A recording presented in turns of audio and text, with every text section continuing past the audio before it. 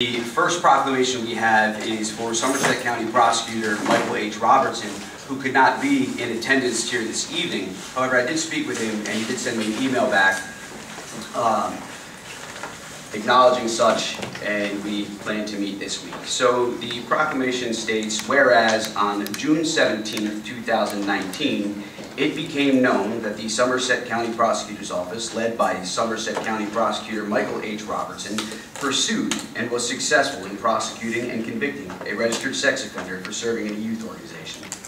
Whereas New Jersey State Statute 2C 723 prohibits a sex offender from participating in a youth serving organization, and it became known to the Somerset County Prosecutor's Office that in direct violation, previously convicted sex offender Sean Butler was acting in the capacity of a youth counselor, youth mentor, and youth chaperone at a religious center in Franklin Township.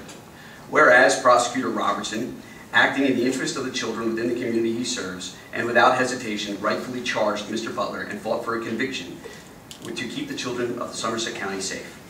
Whereas, because of Prosecutor Robertson's actions, a previously convicted sex offender is now off the streets and the children of his community are out of harm's way.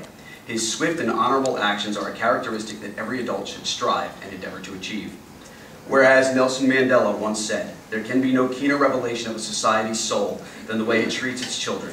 The soul of those in Somerset County, through the efforts of those, uh, the Somerset County Prosecutor's Office, led by Prosecutor Michael H. Robertson, is proven pure and genuine. Let it be known on this day, July 2nd, 2019, the governing body of the town of Phillipsburg acknowledges and embraces the honorable efforts and accomplishments of the Somerset County Prosecutor's Office and Prosecutor Michael H. Robertson for their diligence and for staying true to their oaths, all the while keeping children out of harm's way.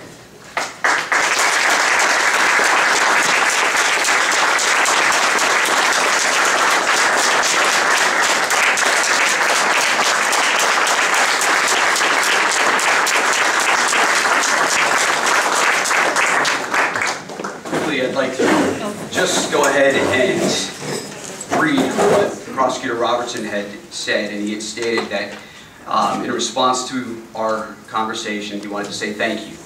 Prior to me being appointed to the prosecutor of Somerset County in 2016, I was an assistant United States attorney for the district attorney for the District of New Jersey for eight years, and before that, I was an assistant prosecutor in Essex County for several years. So being a prosecutor has pretty much been my entire career, and something that I am very proud of because I get to work with wonderful people doing something that is extremely rewarding, which in this instance is protecting the children from the unfortunate realities of people like Mr. Butler. We do our jobs and don't expect anything in return, but when I receive emails like this, it reminds me of why what we do is so important. You should know that all the credit goes to Assistant Prosecutor Kimberly Sabino French, who was relentless in pursuing this case and by making sure just result was achieved. I share with that with you because she, it is she who deserves all the accolades. Nonetheless, I appreciate your sincere words. I too am a father and happen to and happen to also coach youth sports, the youth sports of football and lacrosse. So while it is my job as a prosecutor, it is also very personal to me to make sure that the children are protected. I unfortunately am not available on July 2nd, but I can but I appreciate the invitation and the generous honor. So once again, let's have a hand for the Somerset County Prosecutor's Office.